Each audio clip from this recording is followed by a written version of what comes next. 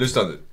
Eh, vet ni hur många indianer det får plats i ett träd? Prata inte om indianer. Nej, de är ju jätteläskiga ju. Ja, och så paddlar de snabbt. Ja, och så biter de tag i benen tills det knakar. Nej, nej, nej, Avril, det är grävlingarna. Men eh, vet ni hur många som får plats i ett träd? Hur många grävlingar får plats i ett träd? Tja, sju, åtta stycken. Nej, hur många indianer får det plats i ett träd? Prata inte om indianer då! Nej, de är ju jätteläskiga. Och så paddlar de snabbt.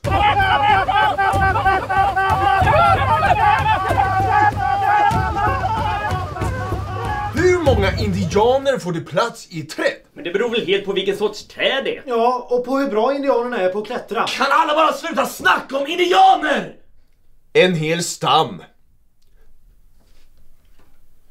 Det är ju helt orimligt. Ja, en stam kan ju vara flera hundra stycken. Men det är ju roligt! Inte för indianerna. Nej, tänk dig själv. Hundra indianer i en björk, de kommer ju trilla ner och slå sig. Pojkar, pojkar.